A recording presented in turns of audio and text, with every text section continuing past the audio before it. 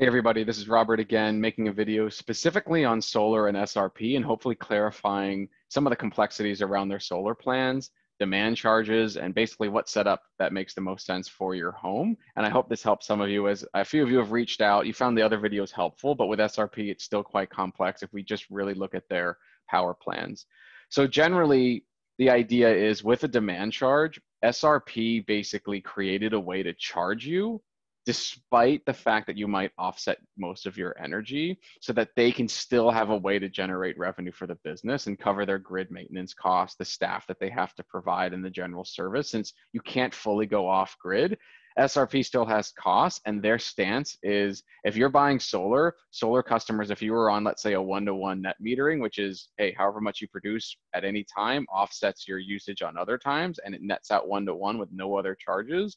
If more people get that, they're going to go out of business or they're going to have a huge revenue hit or they're just going to have to increase prices on everybody else who didn't invest in solar because their costs don't necessarily decrease because the delivery charge this, the, your house being hooked up to the grid their grid maintenance it's still the same. And you're giving your money to tesla or some other solar provider not them. So in their in their mind why should others subsidize your costs? So they needed a creative way to basically charge customers for solar and they do that through some plans that are on solar that don't have demand charges and just much higher rates throughout the day and peak times or they have crazy low rates which is what i'm going to talk to about now which is their customer generation plan e27 or their average demand plan which i recommend and others recommend which is their e15 plan which will sell you the some of the lowest electricity rates in the country because they know they can make up uh, not uh, selling you near wholesale cost what they pay, which is like uh, uh, under three cents a kilowatt hour.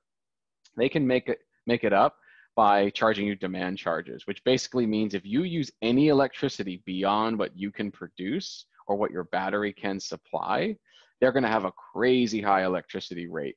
So what you're looking at on my phone is 41 kilowatt hours used today. You see some spikes throughout the day, but the main peak time right now, which will end through um, starting November 1st and shift from 5 a.m. to 9 a.m. and 5 p.m. to 9 p.m. when it gets cooler here where you don't really need to run the AC is 2 to 8 the other six months of the year. So May through October, it's 2 to 8 o'clock. Electricity is between 3 and 6 cents a kilowatt hour, depending on the time of the year um, during the day, but the demand charges are what kick in if you use electricity between 2 and 8.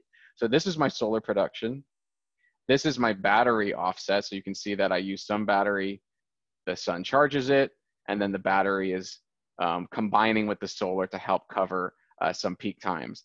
My wife got home early and started cooking dinner. So this spiked all the way to unfortunately 9.1 kilowatts for a very brief, short amount of time, but I could not offset that with my battery or the solar that was being produced at the time. So if I take all that away, this is my electricity usage during the peak times, was any time the battery couldn't cover the energy usage, I pretty much got screwed. So if I add these numbers back, it said during peak, I used half a kilowatt hour from the grid in total.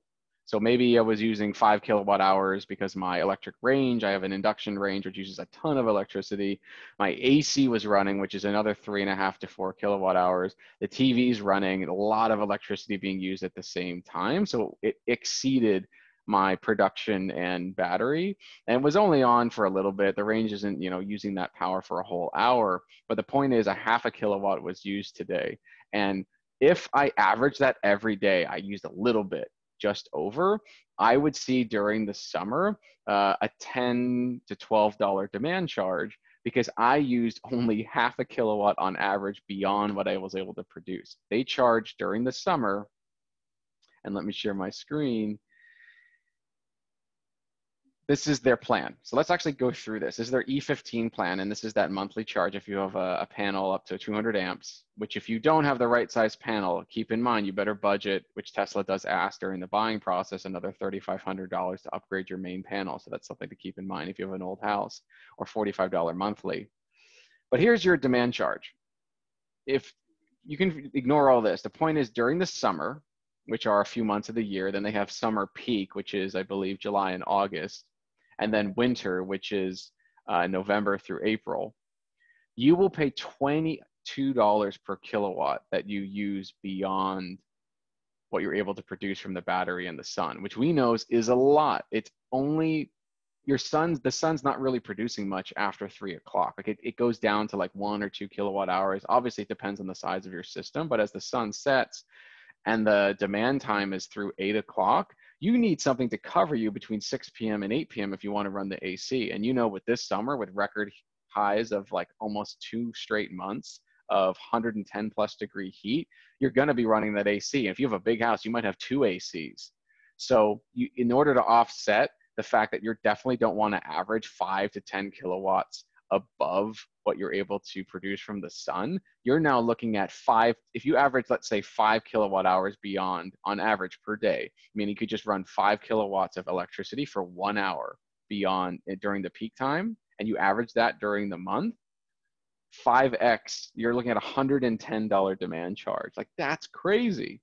So how do you offset that? You buy power walls and the how many power walls you buy depends on how many appliances you want to run at the same time. So each power wall can hold about 13 kilowatts of electricity that's usable throughout the day.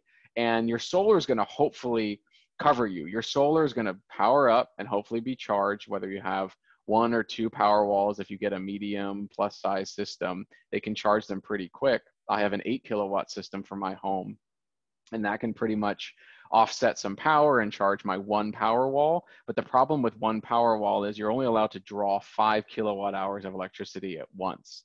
And after two and a half hours, the power wall is completely depleted. It's really easy to use more than five kilowatts if your AC is already using four, and then you have the TV on, and then any other appliances that are just plugged in you're already at the five. So if somebody comes home and runs the microwave, the dishwasher, or if you have an electric range or water heater goes off, that's already eating into the grid, which is racking up demand charges. So if you think about it, having two power walls is going to offset a lot more electricity, but more importantly, it allows you to pull 10 kilowatt hours at once from both power walls.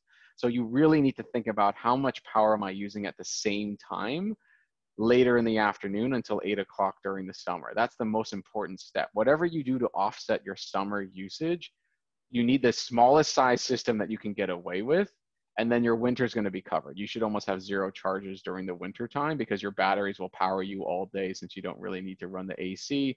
And if you have a good insulated home, you don't have to run the heat that much.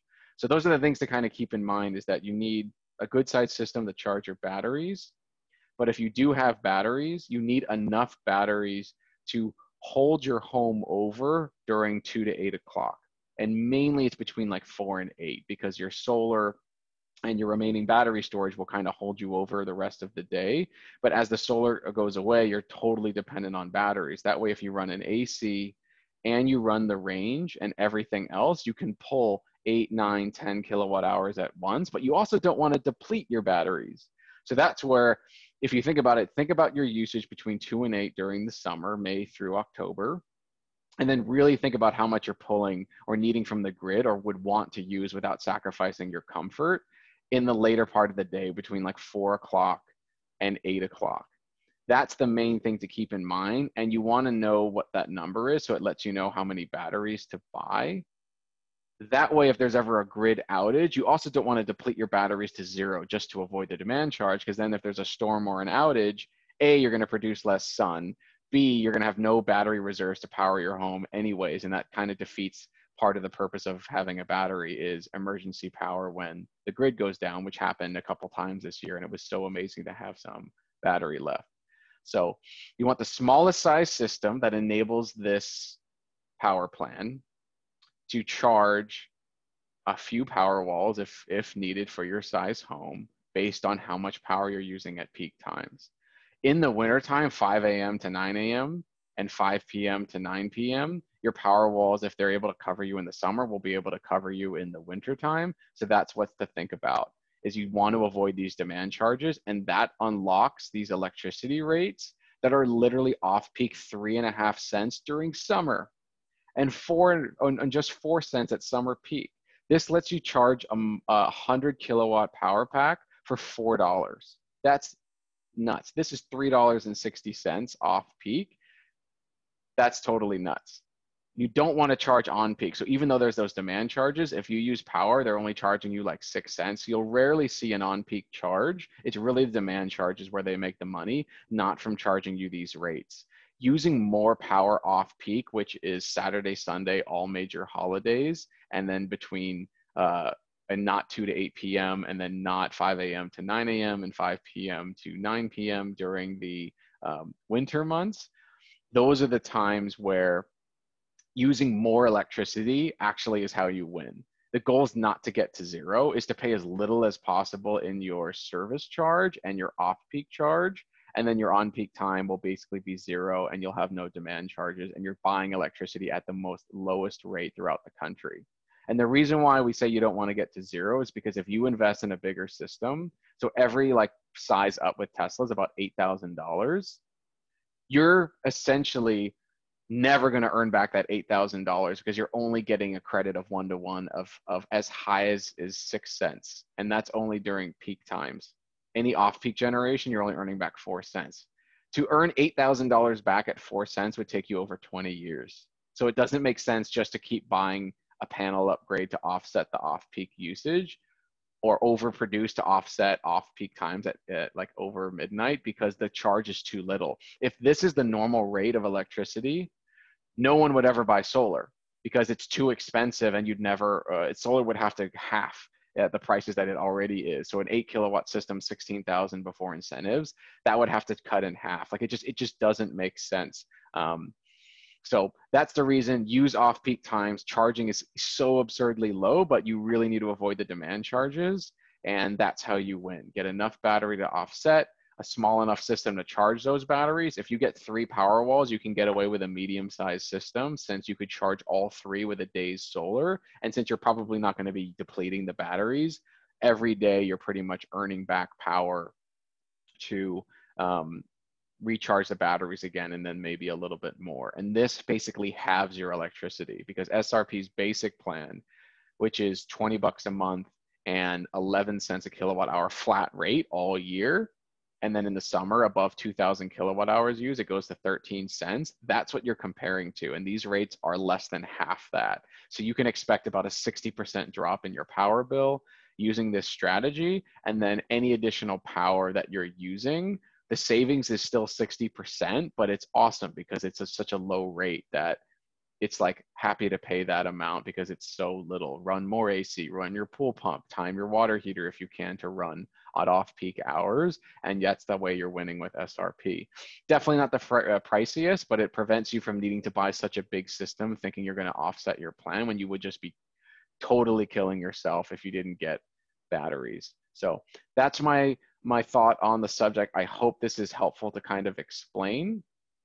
It's the E15 price plan, average demand. I don't recommend the EV price plan or the other plans because you're spending so much money on electricity at the peak times, like well over 20, 25 cents a kilowatt hour for electricity. And even though there's no demand charges, you're not going to ever offset that because on those plans, SRP only credits you back 2.7 cents per kilowatt hour, which is absurd.